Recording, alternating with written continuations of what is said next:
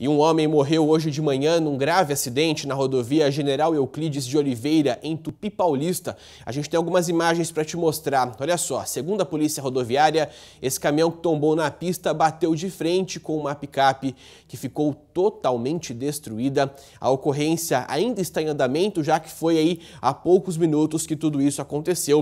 A gente está observando imagens que foram feitas por celular e enviadas à nossa produção. Já foi confirmado, pessoal, que o homem que morreu é um comprador de uvas de Junqueirópolis. Estamos apurando as informações nesse caso. Qualquer novidade eu volto para te contar ainda hoje, ou então você tem no nosso portal de notícias ao longo desta terça-feira.